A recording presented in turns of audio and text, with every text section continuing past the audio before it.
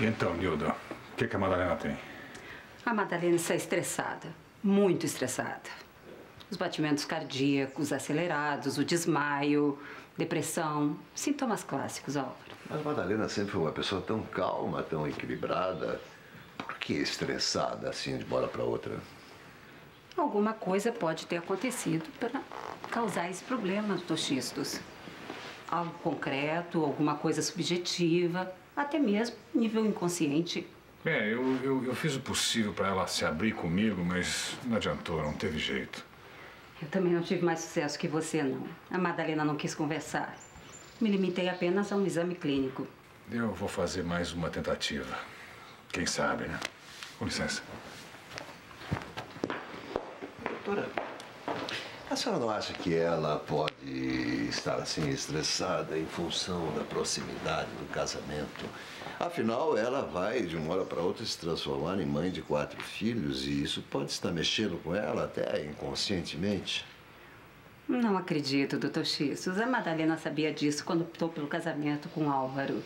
E ele me disse que ela estava até muito feliz pela proximidade da data. Não, eu acredito que tem alguma coisa bem mais séria que a Madalena não está querendo falar. Espero sinceramente que o Álvaro consiga descobrir pelo bem dos dois, né?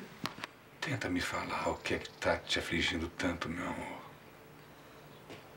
A Nilda acabou de confirmar o que eu já suspeitava. Alguma coisa aconteceu para deixar você estressada desse jeito, Madalena. Não aconteceu ainda, mas pode acontecer. O que, por exemplo? Ai. Álvaro, eu tenho pensado muito, tenho sonhado até os pesadelos horríveis. Que tipo de pesadelo? O que, que te assusta tanto? É como se o Danilo aparecesse de repente e me encontrasse aqui casada com você. Eu te disse que ele é um homem muito violento, não te disse? Disse, eu sei disso, mas são sonhos, não vejo não, como... Mas é hipótese, é uma, é uma hipótese. Eu não comuniquei ao Danilo que eu, que eu queria me unir a outro homem. Legalmente a gente continua casado. Quer dizer, a gente pode realmente se cruzar um dia. E aí eu não quero nem pensar no que, que pode acontecer. Ah, Madalena, você tá se torturando à toa, meu amor. Pensa bem. Isso tudo é fantasia, meu amor. É só uma hipótese remota. E mesmo que esse Danilo apareça aqui de repente, o que é praticamente impossível, eu vou estar aqui para te defender. Oh, meu Deus do céu. Esse sujeito não pode ser nenhum bicho papão. Mas é isso que me assusta. Você querer enfrentar o Danilo. Ah, enfrento sim. Enfrento sim. E esse direito você não pode me negar. Que negócio é esse? Um sujeito que te fez sofrer tanto. Ele que apareça na minha frente. Ele nunca mais vai sequer pensar em te perturbar de novo. Pode ficar tranquilo. Pai? Oi, filho. Pai. A doutora Nilda, ela tá indo embora. Mas às vezes ela quer falar com você sobre o chamado da Madalena. Tá. Madalena, tá melhor? Tô, tô melhor. Agora a Madalena vai ficar boa rapidinho, filho.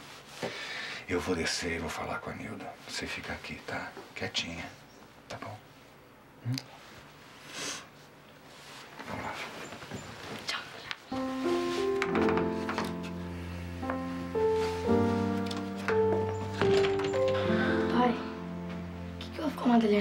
É só uma pequena indisposição, filho, mas já já vai passar.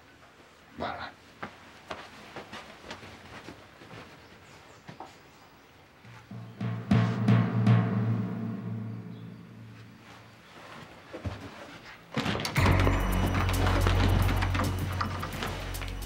Eu vou te fazer uma pergunta. E ai de você se mentir pra mim. Existe alguma possibilidade, por menor que seja, de você estar grávida daquele maldito veterinário?